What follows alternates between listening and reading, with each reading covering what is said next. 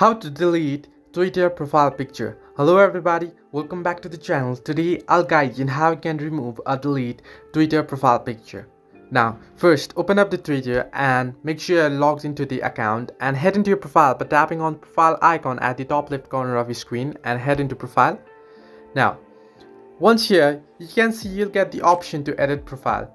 Now, if you tap on your cover picture, You'll get an option to edit at the bottom of the screen. Tap on edit and if you tap on your cover picture again, you'll see the option to remove header and if you tap on it, the picture will be deleted. However, in the case of profile, if you tap on it, you'll get an option to take another photo, to choose existing photo or to choose NFT. However, you won't get the option to delete the profile picture. Now the trick here is simple. Now head into your browser and search for default Twitter profile picture and head into images here.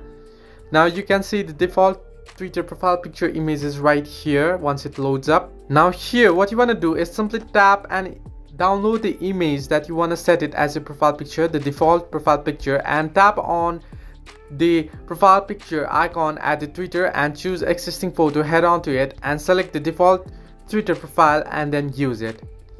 Now you can see my Twitter profile picture has been removed and it's the default one. So, this is the only way you can delete Twitter profile picture.